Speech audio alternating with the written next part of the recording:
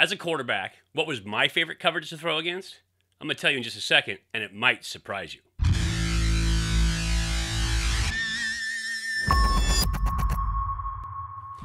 Hey, everybody, welcome to Elite Athletes TV. I'm Mike Pawlawski, former 11 year pro and quarterbacks coach here at EliteAthletesTV.com.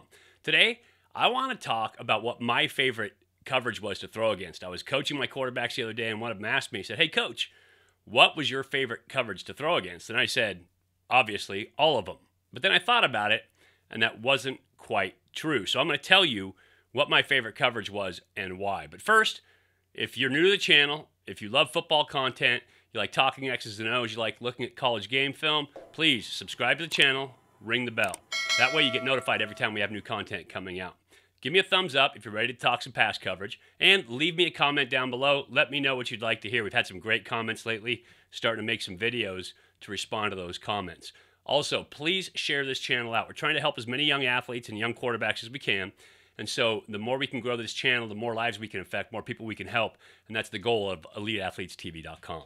Now let's talk coverage. So when my quarterback asked me, and I said every coverage, I thought about it for a second, and I said, well, that's not true.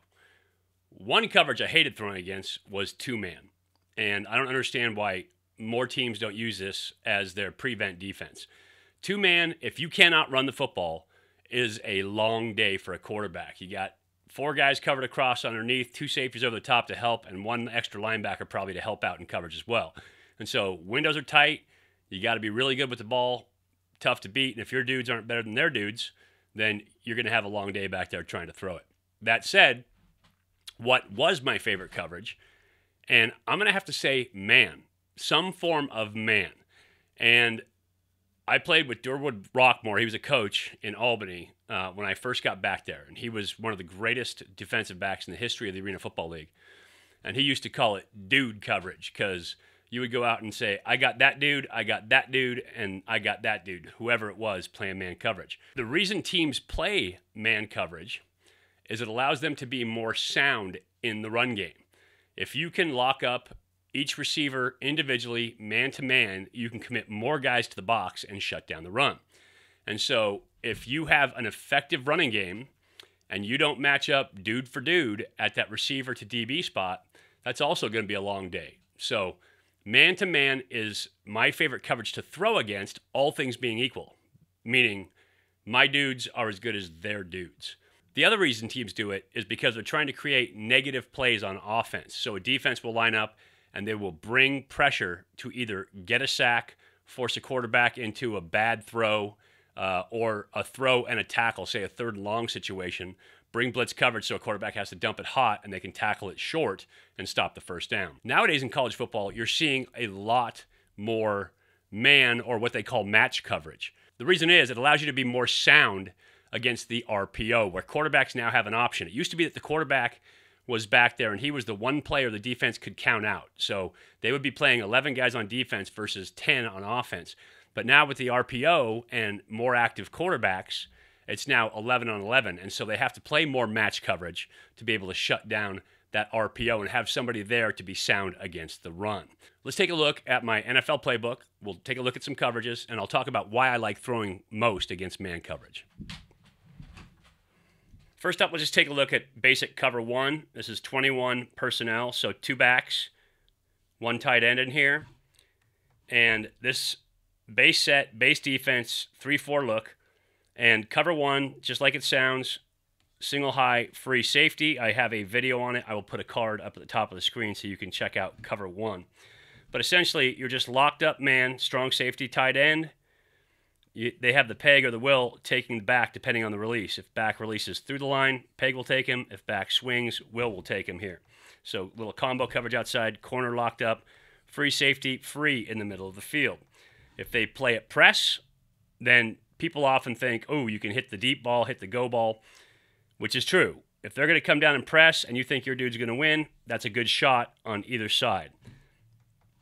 But what's also great is runaway routes, routes where either receivers are running away from DBs, flats across, you got to be aware of this guy, uh, on deep crossers, or routes like the storm or sail route where you have the go on the outside and your Y matched up, bigger physical body, running that out. So really good against man coverage.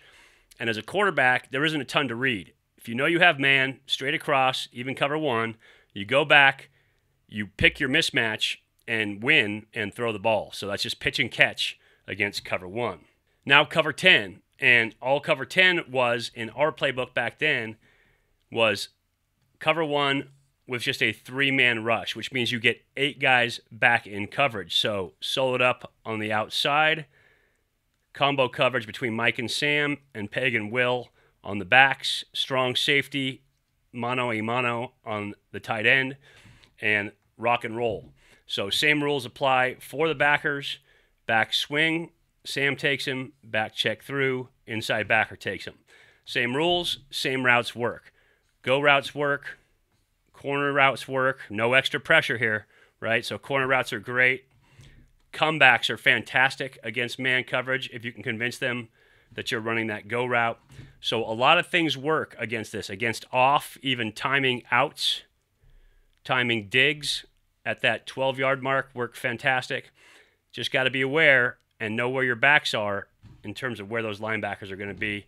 And again, the same thing with that sail route on the inside or the go with the corner route by the Y. If you have a matchup you like, take your shot. Now let's talk about something a little more exotic. Nowadays, it's called cover zero, which I like that verbiage better. Back then, it was called blitz coverage. In this case, you have a Sam Will dog. And so Sam is coming on the blitz or dog, Will is coming on the dog, and you go straight man all the way across the board. Free safety locked up on the H, Mike locked up on the fullback, corner locked up on the X. Now, you know, as a quarterback, because they are bringing A, these three guys are always coming, but they're bringing Sam, Will, and Peg. Now you have six. So, six, if you're blocking with your standard five in terms of O line, and you have two backs in, you can pick it up, no problem and you end up with one on one routes out here against corners and strong safeties. I love this as a quarterback. If I know I've got it picked up, I can take the pressure. I've got backs that can block. Now I'm going to get a shot against cover zero. And with cover zero, what you get is one route can be a winner that can go to the house. I could run simple slant here, and if we beat this corner clean, that thing's to the house. Am I getting pressure? Yeah, I'm getting extra pressure. And so I've got to pick my matchup. I've got to know where to go with the ball. I've got to be accurate with the ball because there's likely going to be in tight coverage. But it could be a cross, it can be a corner, like we just talked about. In this case, no free safety in the middle because he's over covering the H. How about that deep post out combo? Something like that. So cover zero. If I protect myself, I know what I see take my shot, find my matchup, good to go. So blitz coverage was actually my favorite coverage to throw against. If I saw cover zero, I knew I could take it. Had this against University of Washington when I played back at Cal. Everybody was scared of their blitz. I said, bring it on. And we got Sean Dawkins up against Dana Hall, and we put it on him for six points. Take a look now against a couple more exotic looks in terms of blitzes. And couple here, you get your Mike dog covered up corner, strong safety on your tight end, free safety on your H. Everybody else is coming, and they slide the will over to try to cover the fullback. Again, that 4 2 look inside or 4 3 look with Sam up on the line of scrimmage and coming. So, again, you are soloed up across. All you have to do is win in one of these four spots and you are in business. The other thing that you get too is you will get a matchup now with a back on a linebacker. So that can be a huge shot for you as well. If you like that mismatch with a more nimble guy in that back spot against a linebacker who doesn't who isn't generally comfortable covering man to man, that could be a shot for you as well. So cover zero, different look.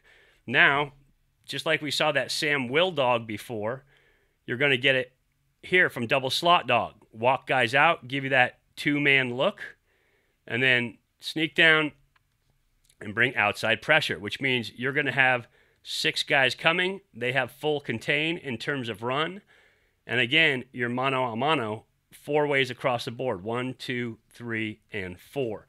And so as a QB, you can pick this up, pick this up with protection, strong here, slide these three, work back to these three. Make sure you get your check in so that you slide your tackle to the outside, and you're good to go.